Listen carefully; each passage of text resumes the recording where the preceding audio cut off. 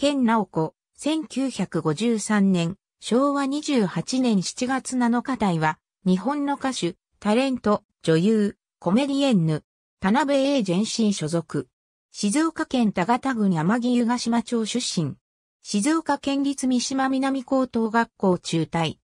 直子説とも称される、独特のアンニュイな歌声と歌唱法で、1970年代中盤から1980年代中盤にかけて数々のヒット曲を世に送り出した。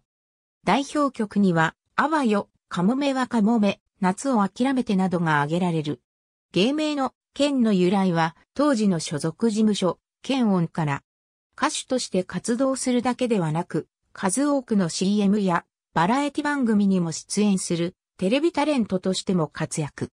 殺虫剤、キンチョールの CM、トンデレラ、シンデレラのキャッチフレーズやザ・ドリフターズとの共演、カックラ近代放送のナオコ、ばあちゃんのキャラクターでのコントなどで人気を博した。タモリ、所ジョージ、関根勤、明石家さんまら芸人とも交友関係が深く、赤塚不二夫は、県直子ファイクラブの会長だった。若手時代は、ザ・スパイダースのコンサートに前座として連れて行かれたが、実際には、スパイダースのメンバーが中座している最中に、歌わせてもらった。その際、舞台袖で、坂井正明の MC を見て勉強するなどしていたため、県にとっては師匠のような存在となっている。同期デビューの野口五郎を弟分として可愛がり、現在も時々二人でジョイントコンサートを開いている。高田水江を妹のように可愛がり、高田も県を姉のように慕っていた。1970年代後半には当時、下積み時代のザ・アルフィーをバックバンドにつけていたこともあった。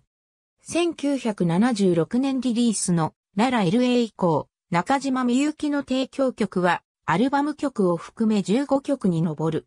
中島みゆきが詩曲ともに提供した歌手では、健直子が最多である。1990年代以降、歌手としてのリリースは激減したものの、コンサートなどの活動は精力的に行っている。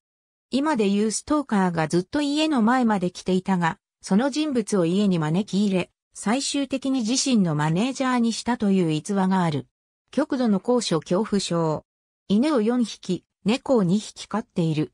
県の楽曲に影響を受けたと公言している人物に、中村中、今井茂雄がいる。和夫和めの母で、長女は元、小夏、瞳、玲奈の瞳。また、陸上選手の日吉克美とは親戚関係にあり、日吉の親と互いとこである。デュエットシングル。ありがとうございます。